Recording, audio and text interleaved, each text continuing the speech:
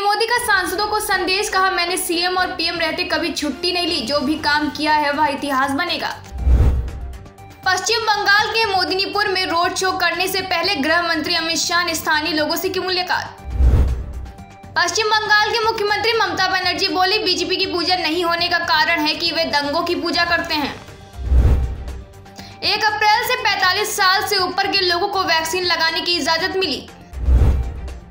सौ करोड़ की उगाही मामले में नया खुलासा। फेक आईडी देकर होटल में रुका था सचिन माझे लॉकडाउन के दौरान ईएमआई किस्त में राहत पाने वालों को देना होगा ब्याज। लोन मेरिटोरियम अवधि बढ़ाने से सुप्रीम कोर्ट ने किया इनकार।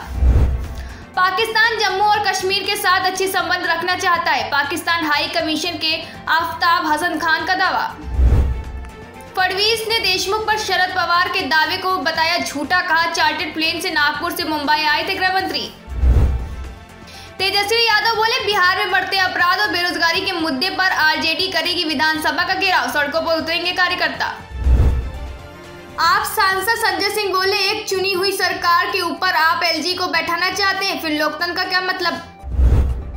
ग्वालियर में बड़ा हादसा, बस और ऑटो की भिड़त में तेरह लोगों की मौत। देश में बड़े सिलेंडर के दामों के बाद असम के चाय बागान कर्मचारियों ने लकड़ी से खाना बनाना शुरू किया। असम विधानसभा के लिए बीजेपी ने अपना घोषणा पत्र जारी किया। प्रकाश जावड़ेकर बोले, महाराष्ट्र सरकार पर उठाए सवाल। बोले, पुलिस से पैसा इकट्ठा करा रहे हैं। टिकरी बॉर्डर पर हज़ारों किसानों ने मनाया शहीद दिवस।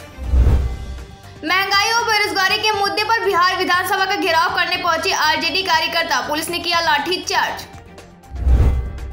उत्तर प्रदेश के मुख्यमंत्री योगी आदित्यनाथ बोले, असम में बीजेपी विकास के पद पर सबको ले जाना चाहती है। प्रयागराज के फूलपुर में एक फैक्ट्री के बॉयलर फटने से कई लोग घायल। योगी सरकार का बड़ा फैसला कोरोना की वजह से 31 मार्च तक आठवीं तक के स्कूल बंद रहेंगे। बदायूं में साधु की हत्या सिल कुचलने के बाद जलाए प्राइवेट पार्ट, आरोपी गिरफ़्तार, बोला सब लैंगिक संबंध बनाना चाहता था।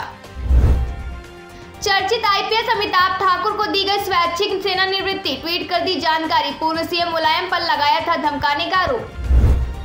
कोरोना के बढ़ते मामलों को लेकर मुख्य सचिव ने सभी डीएम और एसएसपी को लिखा पत्र, होली पर हुड़दंग की नहीं मिलेगी छूट।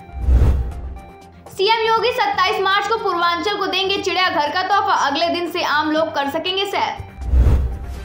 प्रयागराज में प्रतियोगी परीक्षाओं की तैयारी कर रहे छात्र ने किराए के लॉन्च में लगाई फांसी। बाराबंकी में कोविड 19 वैक्सीनेशन में बड़ी लापरवाही, नर्स ने गाँव जाकर 20 लोगों को लगा दिया कोरोना का टीका। शराब से हो रही मौतों और घटनाओं के मद्देनजर आजमगढ़ पुलिस अधीक्षक द्वारा बीती रात शहर के वाइन शॉपों पर चलाया गया चेकिंग अभियान। मेरे द्वारा थाना कोतवाली, आजमगढ़ के पुलिस बल के साथ मॉडल शॉप को चेक किया गया। और उसका पर्पज़ ये था कि एक तो जो दुर्घटनाएँ हो रही हैं, जो शराब पी के जो मौतें हो रही हैं, उसका कारण था। दूसरा, ऐसे स्थानों पर लोग जो असामाजिक तत्व हैं अपराधी तत्व हैं, वो शराब पीने जाते हैं और उनकी उनकी, वो वहाँ पर ना इकट्ठे हो पाए, वहाँ पर ना जमे, इसके लिए उसकी चेकिंग की गई थी। चेकिंग के दौरान कुछ बिना कागजों की मोटरसाइकिलें भी वहाँ उस दुकान के बाद मिली है, उन्हें लाकर सीज किया गया है और जो दुकान है, दुकान की चेक किया गया और बाकी सब लोगों को जमा तलाशी की हर खबर पर होगी आपकी पकड़।